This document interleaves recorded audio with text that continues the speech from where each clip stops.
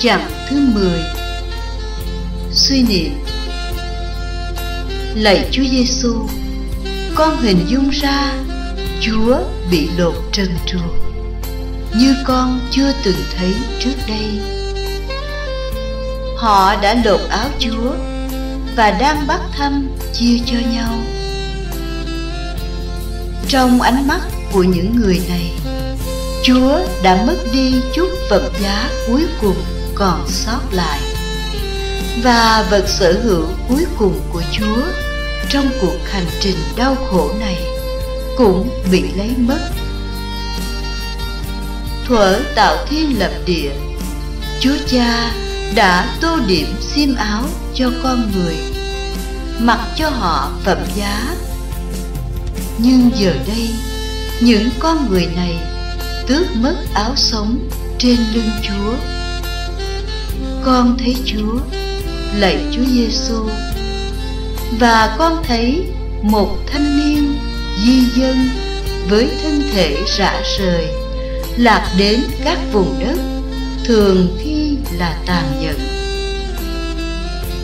Sẵn sàng lột hết áo sống của anh ta là gia tài duy nhất còn sót lại của anh và bán nó bỏ lại anh một mình với thập giá của mình, như thánh giá của chúa. Với da thịt bầm dập như da thịt của chúa. Với đôi mắt đầy những đau đớn như đôi mắt của chúa. Tuy nhiên, có một điều chúng con thường quên phẩm giá nó được tìm thấy bên dưới da thịt của chúa. Nó là một phần của chúa, và nó sẽ luôn ở bên chúa.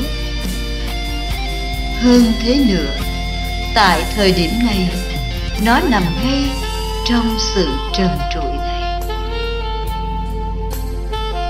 Sự trần truồng khi chúng con được sinh ra giống như sự trần truồng mà trái đất này sẽ đón nhận chúng con vào buổi tối cuộc đời chúng con. Từ người mẹ này đến với người mẹ khác. Và giờ đây, trên ngọn đồi này, mẹ của chúa cũng có mặt. Một lần nữa, mẹ nhìn thấy chúa trần truồng. Con thấy chúa và con hiểu ra sự hùng vĩ và vẻ huy hoàng của nhân phẩm chúa. Phẩm giá của mỗi người mà không ai có thể xóa bỏ.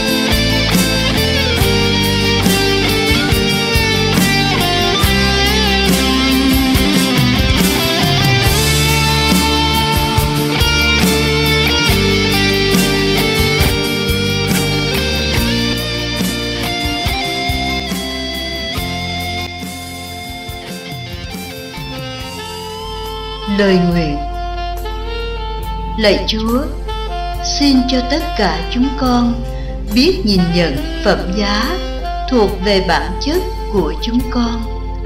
Ngay cả khi chúng con thấy mình trần truồng và cô đơn trước người khác.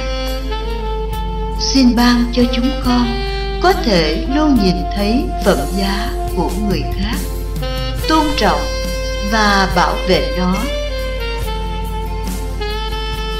Xin Chúa ban cho chúng con sự can đảm cần thiết để hiểu mình cao trọng hơn rất nhiều so với quần áo chúng con đang mặc và chấp nhận sự trần trụi của chúng con. Nó nhắc nhở chúng con về sự nghèo nàn của mình mà Chúa đã yêu mến, thậm chí thí mạng sống của Chúa ya you.